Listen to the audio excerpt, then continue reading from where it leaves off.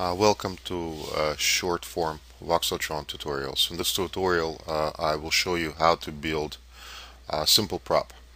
Um, so uh, there are some object tabs right here. Um, and we're going to choose one.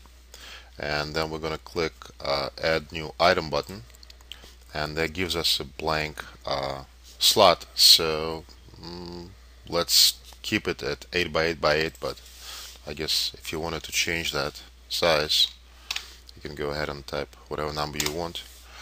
Um, so uh, there are some tools in here. Um, uh, so this tool right here is a bucket. So what it does it fills uh, your volume uh, with a solid color.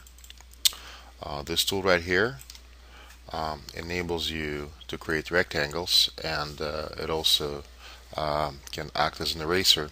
So if I hold um, if I choose this pixel right here negative pixel and I hold shift I will be able to uh, curve out um, my prop. So it's starting to look more like a crate.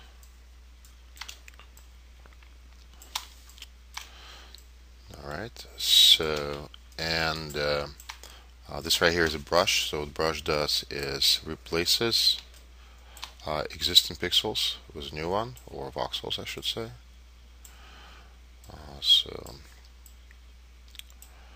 here we go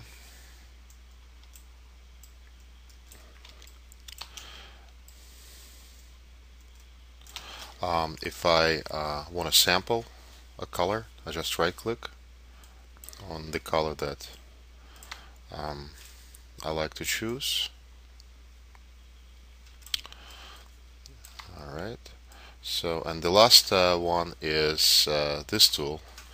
Um, and this tool actually places new voxels in your volume, so as you can see, it's doing it right now.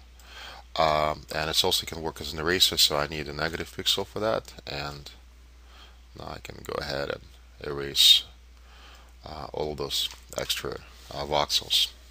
Alright, so and uh, now we have a simple prop. So what I'm going to do next is I'm going to place it in my uh, level and test it real quick. So I'm going to go back to the room. I'm going to place it, choose it, place it, and then play. And here we go.